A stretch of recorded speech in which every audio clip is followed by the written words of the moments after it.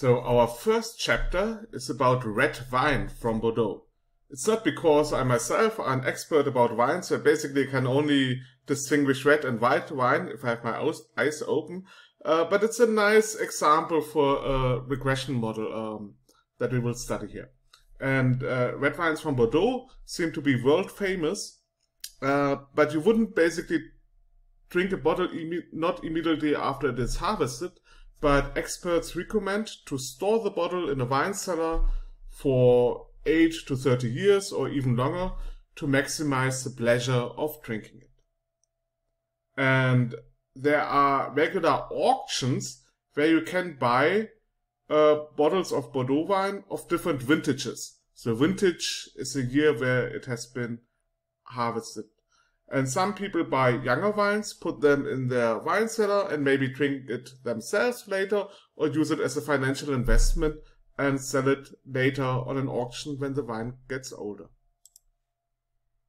And the auction prices differ substantially between the vintages. So, for example, here the average price of uh, bottles auctioned from the vintage of 1960 uh, was in the years 1990 1991 um, $479 for 12 bottles, while the next year, the vintage 1961, has almost 10 times the average price. So this is a very famous vintage. Experts say the Bordeaux wine from 1961 is really great.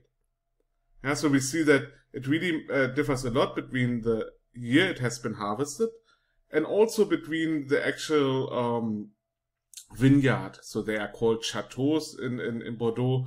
Uh, that's basically the producer of the wine. And here, like Latour seems to be on average the most expensive one.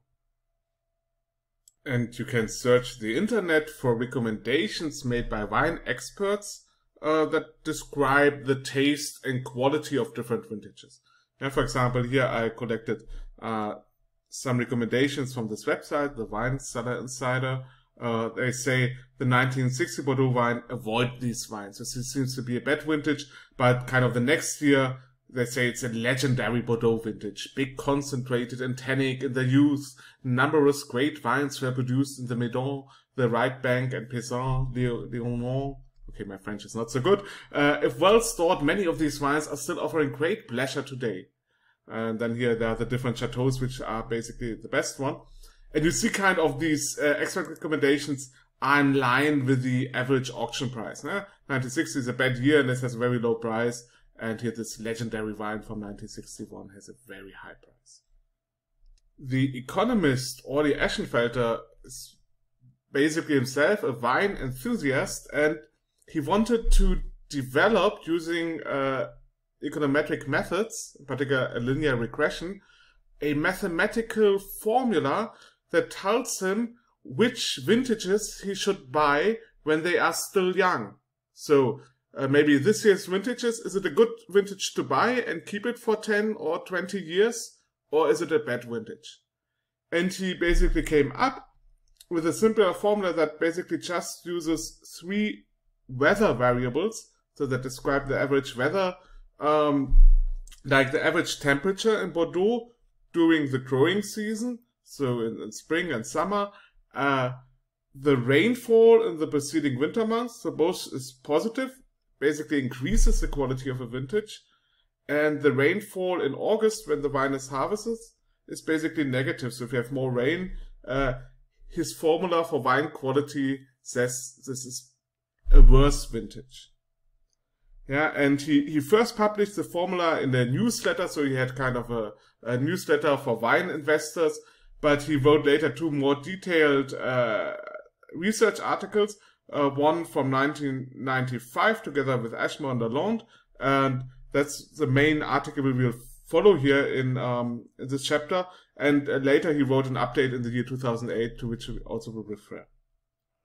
And uh, there's a nice YouTube video there's a kind of a TV um, documentation about it, a very short one, uh, about this formula, and it tells basically how wine critics who basically after the harvest taste the wine to make a quality prediction said that this simple formula is ludicrous and absurd and um, really cannot capture all the important aspects that make a good wine or a bad wine.